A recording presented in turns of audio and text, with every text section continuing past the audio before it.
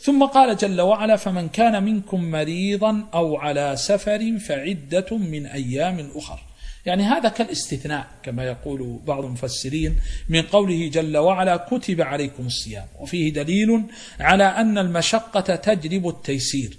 وفيه دليل على أن المشقة تجلب التيسير وهذه من القواعد المقررة المعروفة.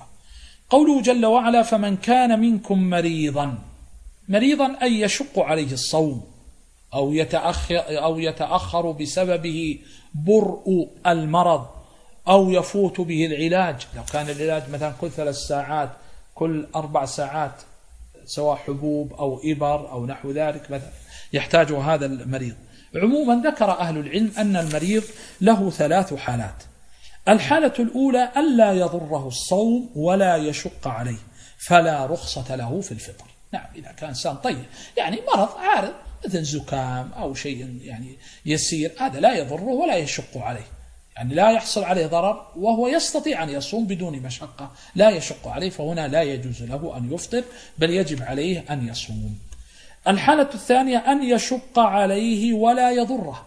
فالصوم في حقه مكروه لأنه لا ينبغي العدول عن رخصة الله. يعني هو يعني فيه مشقة عليه فيه تعب ولكن ليس فيه ضرر. مو إن شاء الله يعني يموت أو يهلك أو كذا لا.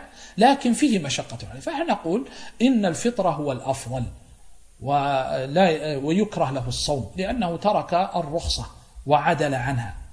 الحالة الثالثة أن يضره الصوم.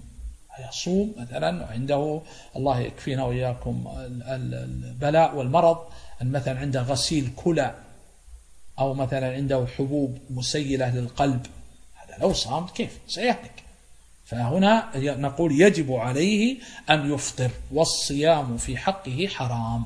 والصيام في حقه حرام لقوله تعالى ولا تقتلوا أنفسكم إن الله كان بكم رحيما.